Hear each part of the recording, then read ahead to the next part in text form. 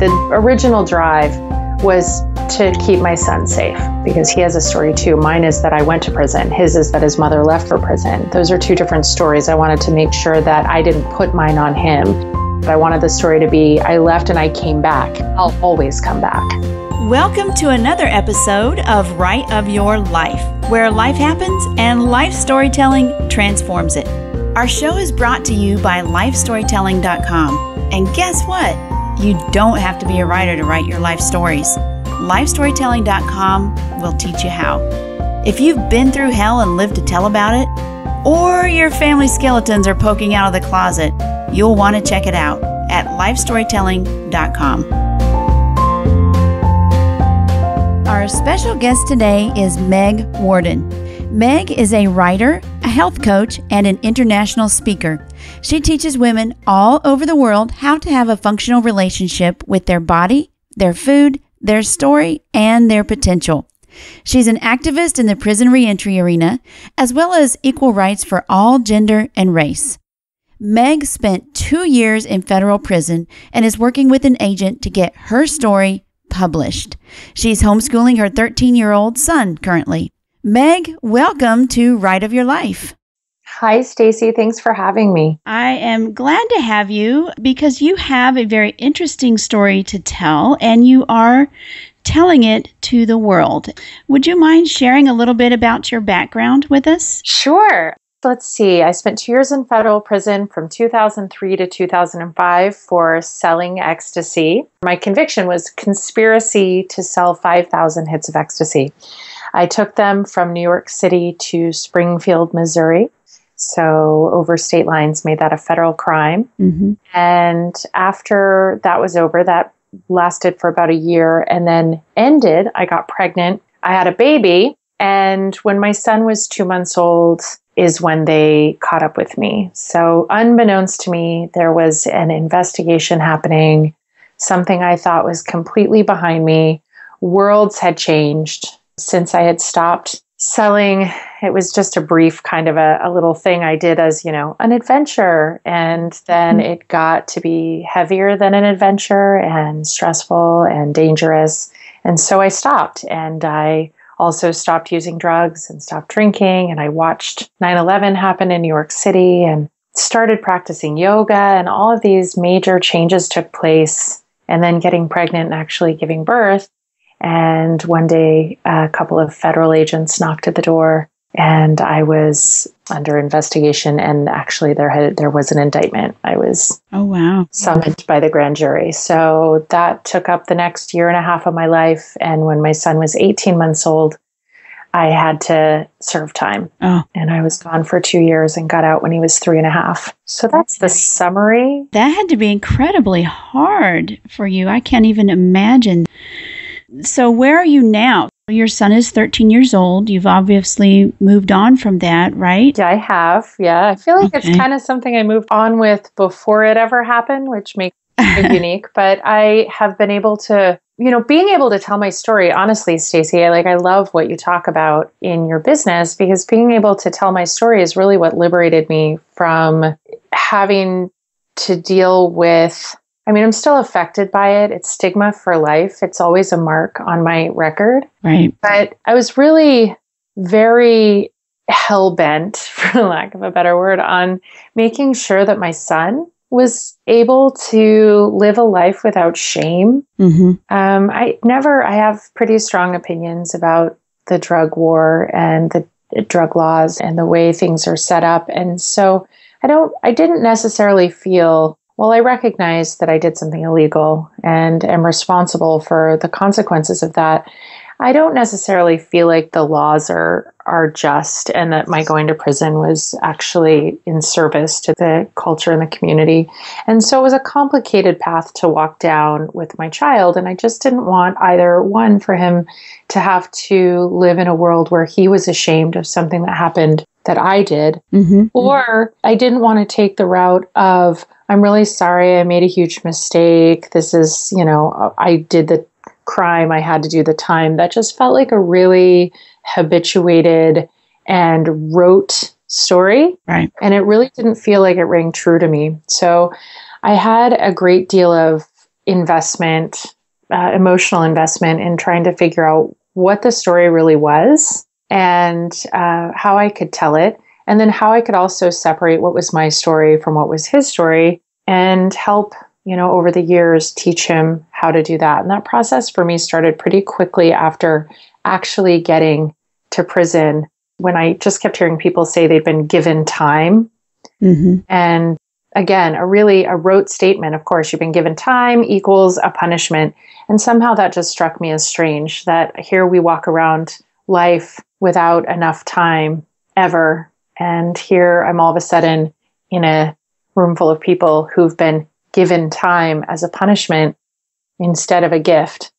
And it kind of, that was a catalyst moment of setting me off into a world of being very clear about definitions and re editing, recreating, and editing and refining definitions of things if need be. And that crosses over big time into my health business because health is also a, such a loaded word right. that needs redefinition all the time so that people really understand how to achieve a lifestyle that serves them. Once you went to prison, and it, it, sounds like you matured or you discovered some things about yourself pretty quickly. Um, tell me about the before. How how did you get into that in the first place? So let's see.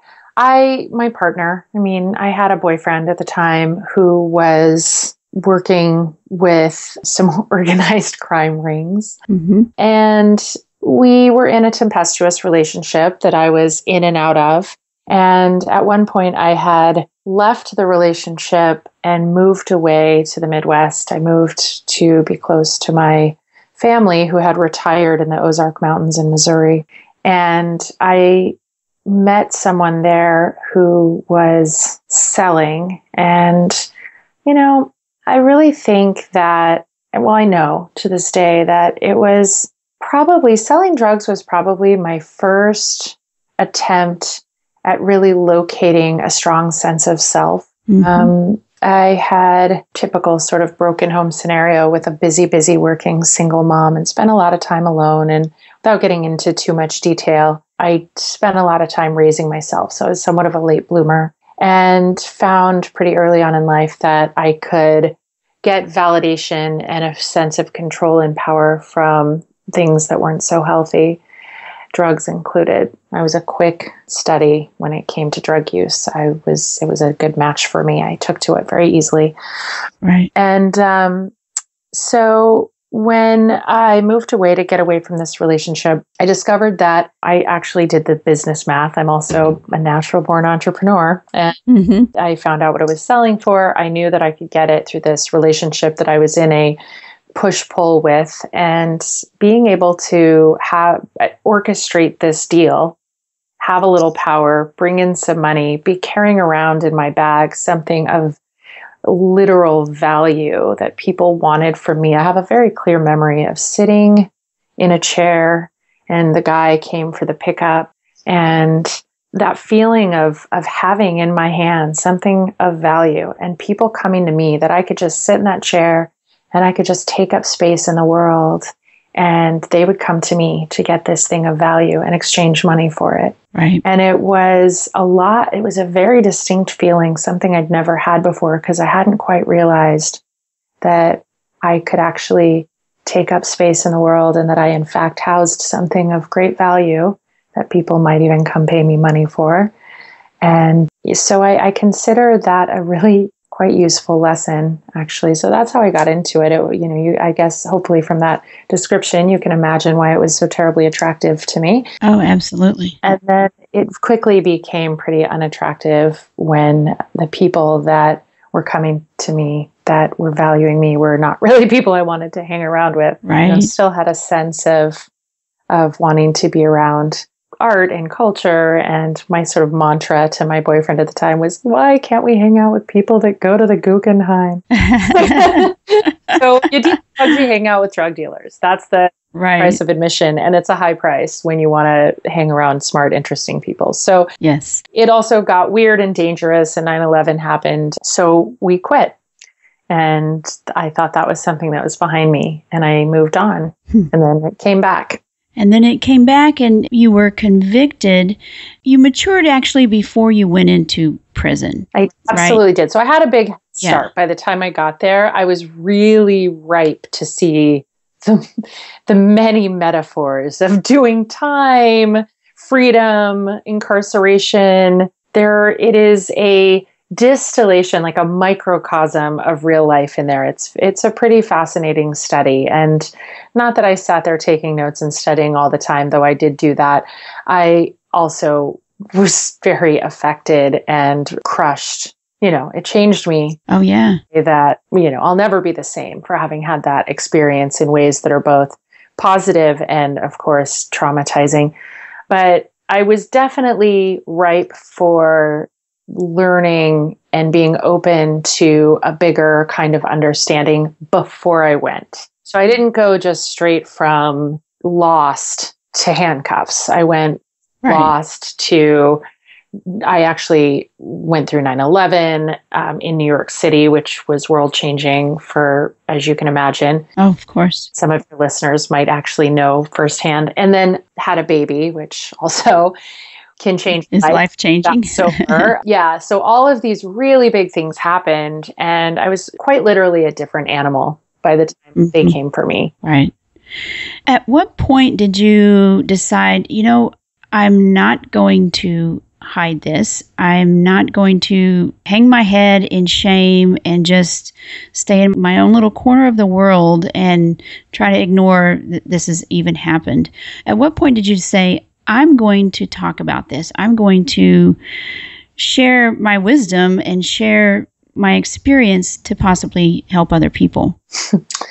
That's been a process. The original drive was to keep my son safe, uh, just not to have him confused about why I left, scared that I would leave again. Right. But I wanted the story to be I left and I came back. I'll always come back. Right. Started there. And then, of course, as things got more sophisticated, how does he deal with knowing? How does he deal with processing this information himself? Because he has a story too. Mine is that I went to prison, his is that his mother left for prison. Those are two different stories. I wanted to make sure that I didn't put mine on him. Right. You know, I didn't need to come home doing the crying and apologizing and make him have to contain my emotions or regret.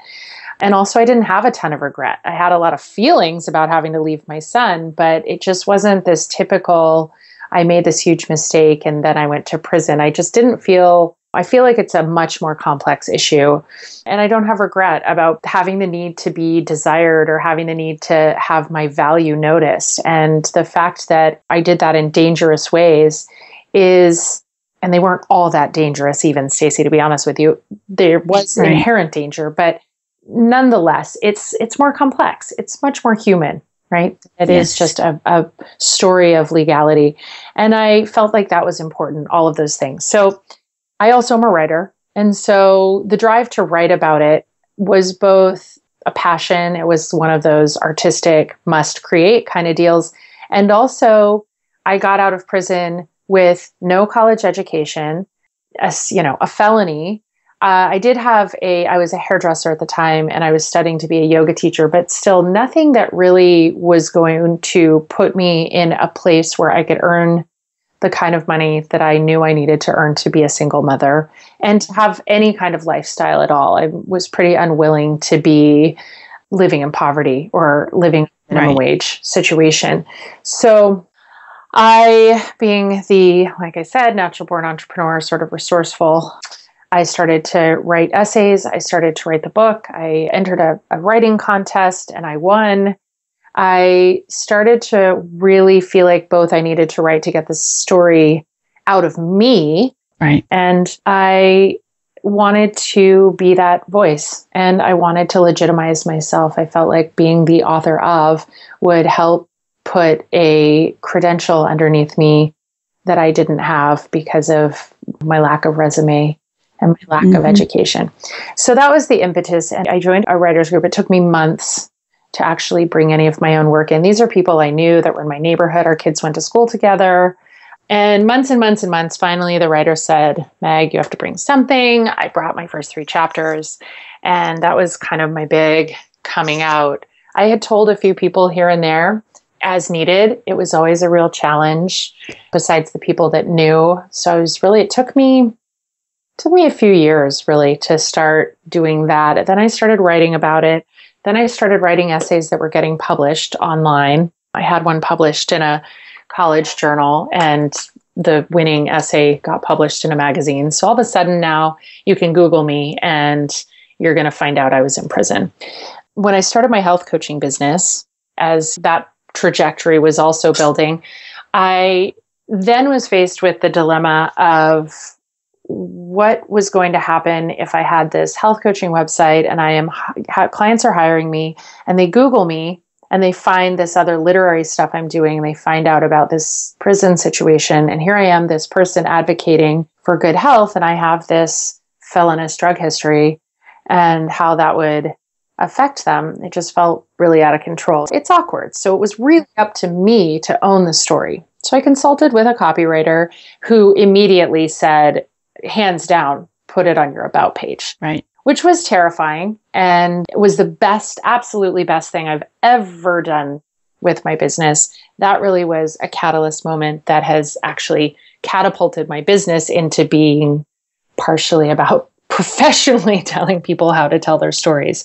When I realized it was starting to resonate with people, not only the story itself, which has blossomed into also much more than just telling it so I can get it out of me. It's out of me. Now I tell it right. so that the humanness of the experience, whether you've had the same experience or not, will be conveyed. I really like the idea that when we put art out into the world, when we put words out into the world, when you write a story, you know, it's a, it's hopefully going to be a gift. It's that experience that when you consume those words, you're going to digest them and they're going to resonate inside you, articulating unarticulated feelings and experiences for you as if they were there all along, right? That's the gift you give. Here's humanity through my particular lens. You consume it. And then when the reader consumes it, it belongs to them and it liberates them from things that they are, weren't able to find words for. And our brain functions and categorizes things by language. And when we can put them in packages or stories that make sense, that work, we can heal ourselves from trauma. And not only can we heal ourselves, but it makes that trauma and that shame less damaging, less scary for the writer, I think, who writes down their story in a number of different ways. Not only do you process it, but it, it, it puts it in that package to where it's not bigger than it really is, right? The situation is not bigger than it really is. Right. You can separate yourself from it. You can see that I you are not the story. You have a story. Right. Exactly. Pretty much we've all had difficult times in our lives where either we're ashamed of, or we're embarrassed, we just don't want to face, what would be your recommendations for first steps on getting that story out? Tell people that you trust. Tell it to people that you trust. If you really want to get it out, if you really want to get it out of your body, write it down, journal. Um, mm-hmm. And then the next step is to tell it to people that you trust. Read it, tell it, share your work. What, When I, when I say people that you trust, I don't always mean your spouse or your family either. Probably another writer that you trust would be better. Right. The objectivity is definitely an important piece for somebody to, else to be able to see that what you've just offered is a story and you're not just putting your guts on the table for examination, the person who's reading it is not actually thinking in terms of their own relationship to you and the story you might be telling. Mm-hmm, right. Not everything has to be published either, you know? That's It's right. also therapists and coaches and all kinds of people who you can tell your story to that can help with with those things. Absolutely. Writing down your story kind of puts definitions around it too. So it can't continue to hurt you.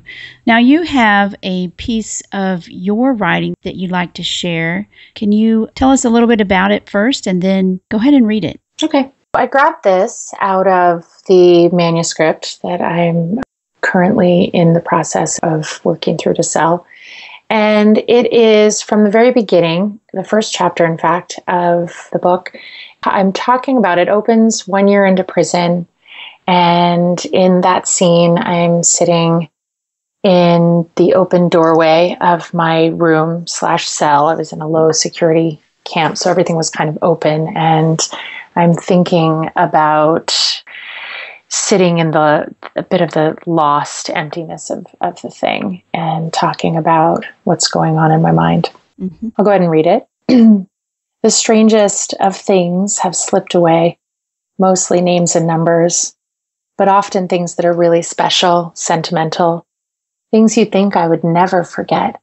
The boy from Vermont who played saxophone, whose tequila lips I kissed that summer by the river, and some more pragmatic things like my social security number being replaced by the eight digit inmate number I say out loud at least twice a day.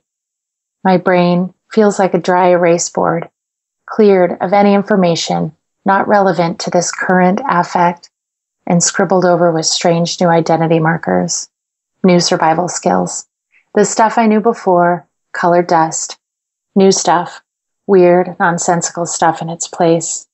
I practice remembering things I've forgotten, as well as things I'm desperate not to forget, things I can't bear to lose, the smell of his hair. Hmm. You have a good way with describing exactly how you felt and what you were experiencing at that moment. Thank you. What do you hope to accomplish when this book comes out? Oh man, that is a that is the big question. I am a big big fan of what we talked about earlier as far as trauma goes. It is probably my dearest hope that I'm able to write something that frees other people. I want I want to write a, you know, I want this book to be about freedom. It's about prison. Mm-hmm. I want it to be about freedom. I want people to understand that you can refine, edit and refine your story no matter where you find yourself. You have the option to look around and see if there's some little bit of space where you can find some personal freedom because this is the only life that we get.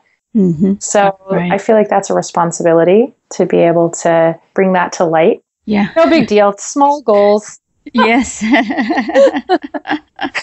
well, speaking of the freedom that you talked about, you have a giveaway for our audience if they go to your website, which is megworden.com slash free your mind.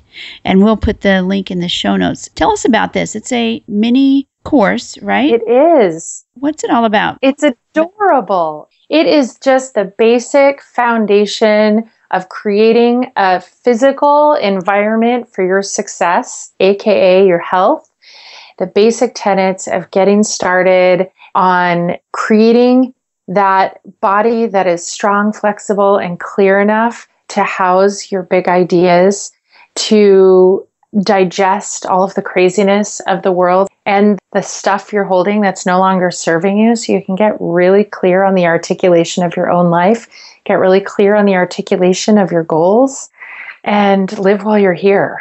I like that. And I love your way with words and how you craft them. So you're a great example of how you can take a story or a concept or anything and craft a really, really great blog post or book or just a paragraph. Folks should go and take a look at your blog just for that if nothing else. Now, what else has got you excited about your business besides the book? I'm getting ready to do an exciting rebrand. Uh, being able to reinvent things. And I'm putting together a course that's going to be amazing. That's going to come up on the heels of the Free Your Mind course. And it's going to be a longer, more involved course. And then I always love working with my private clients. I have the most amazing clients Excellent. Well, Meg, thank you so much for visiting with us today, sharing your story, and I can't wait till your book comes out. We'll put all the links to your information in our show notes, and we look forward to seeing what you have in the future. I really appreciate it, Stacy. Thank you so much for including me. Amazing story from Meg Worden. Wow. Now, at the end of each episode, I peek into the Life Story Toolkit and share information on one particular tool that you might consider using if you're writing or would like to start writing about your life. The Life Story Toolkit is sponsored by LifeStorytelling.com, where you can find your life theme discover where to start writing, and craft your life into a compelling story. This episode's Life Story Toolkit features something called morning pages. If you've looked at writing blogs or books, you may have come across this concept. Here's the deal. Basically, everything you write initially is crap. Yes, I said crap. It's like rip it to shreds, flush it down the toilet. I can't believe I even thought about being a writer. Crap. No one should see what you start out writing. However, the strange and ugly secret of all writers is this you can't get to the really great and inspiring words that will change the world unless you write a bunch of crap first. There's no getting around it. Young and old, experienced or not. You have to slog through that mire first. So, the practice of morning pages is to get that crap out of the way so you can write the good stuff.